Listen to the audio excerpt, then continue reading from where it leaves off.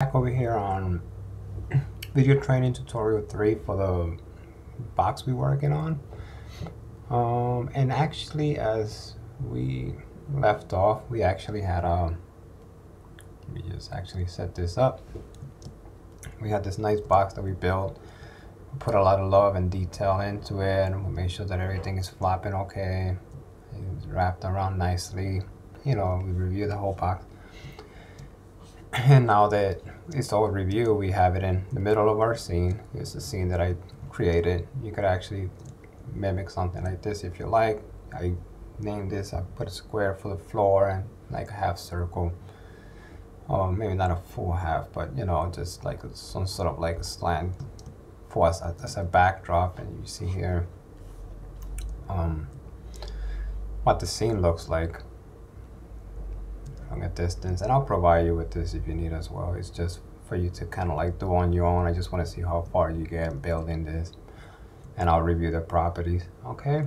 And then um here's so here's the preview. What I wind up doing is um, I added um color just a regular color just to see how this is you know how it's looking. So the outside is all solid and it's working what's selected and what is not. The little whiteboard it's actually the inside of the box. And so we have this set up. I'm ready to go I think. Let me see. Yes. So the little line here is it's the reflection from the table because I have this right now with a Fresnel that is high and it's just picking up some of these nuances. But this is just only to um see what the box looks like, you know. Um, so now with that said, um, I'm gonna, I already have in here the box, which what I did was, I remember the box art that we created and we saved it as a map file. You know, the UV map file that we created, we saved it, we, and we put it on a map folder inside, that's seen here. So you're just basically gonna go to image load and bring that art. Once you bring it in, which is, um, I'm gonna turn this off for a second, just focus on my um, settings here. It'll come in. And the first thing I do is actually go to UV and just go to UV map. And remember we named the UV box art so just select that so it is activated. And uh, the next thing we do is actually go to the gamma on the texture layer and make sure that it's 0.625 because that's actually going to give you accurate RGB readings which is what you want.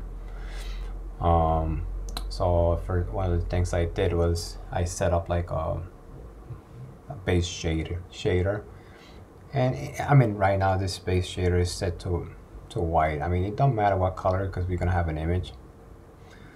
So you see like this best base shader, this actually has the properties of uh, roughness is 5. So, you know, we have the blurriness activated because we want sunshine, but not a lot because they not really hide shine unless you want. And then uh, the roughness to 5 player code, I have it set at 50. So, you know, this is how you get these little nice little nuances on these edges of the box so that it look like it's a realistic box. And then um, pretty much that's it. So when you brought the image in, we already selected what um, the UVs are and you activate it.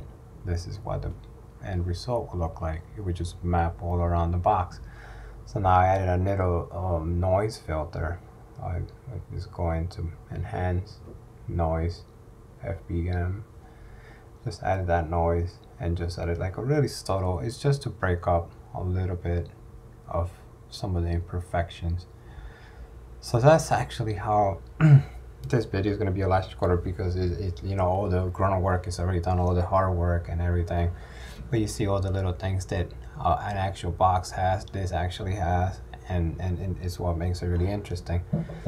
Um, so that's one now the next thing we're going to do is actually set up kind of like what we did in our rendering. See we have a box in the front and then we have one in, in the back angle.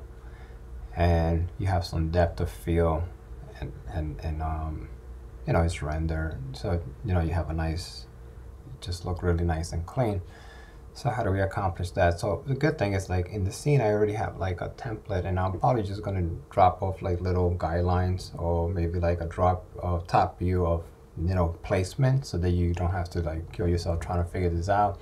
Although you could do your own or alter it however you like but just for this exercise um, I already had done this once before. So if you go to the top view here and I go to items I have my um, previous box.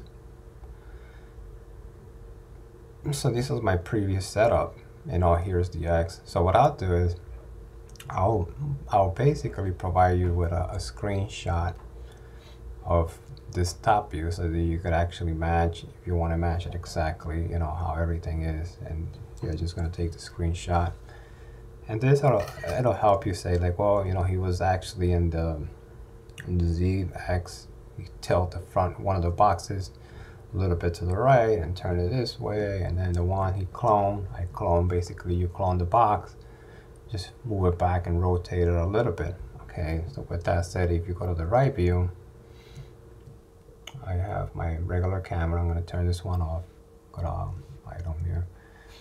If you see what I did with the camera is actually it's set up um, and you know by all means you could adjust this however you want. Mine's I just brought up and then I actually activated um, depth of field and what I wind up doing in the top view is just I make sure that the select point of this box it's like basically everything in this area is going to be sharp anything over here back is going to be a little out of focus.